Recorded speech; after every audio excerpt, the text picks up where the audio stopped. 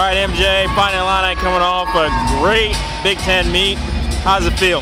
It feels good. I mean, I just am so thankful. It was a total team effort today, so I'm really proud of everyone.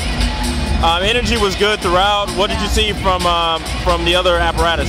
Yeah, I mean, starting on floor, we just carried the momentum through the meet. The energy was high. We really fed off of that, so it was, um, yeah, it really helped us all the way through. You're Big Ten champion. Yeah. How does that feel? It feels good. Um, I couldn't have done it without all the coaches and teammates who have helped me along the way, so all thanks to them. Getting set for regionals in Champaign Yeah. for the first time in a long time.